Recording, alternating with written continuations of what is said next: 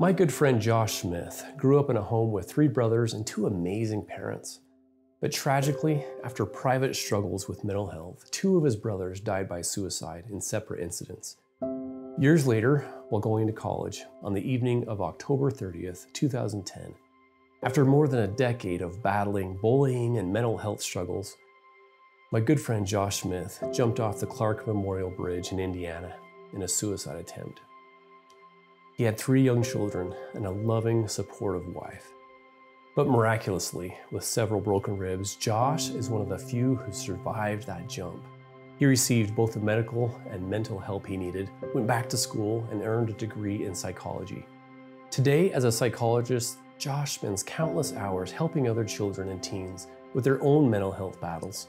And yes, there are days when Josh still has thoughts of hurting himself. But instead of staying quiet, he gets help, takes some medication, and talks with his wife. He's open, he's honest, and he's one of my heroes.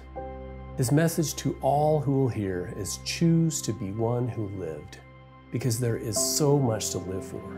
There is help and there is hope. So reach out, be aware, be one who lived.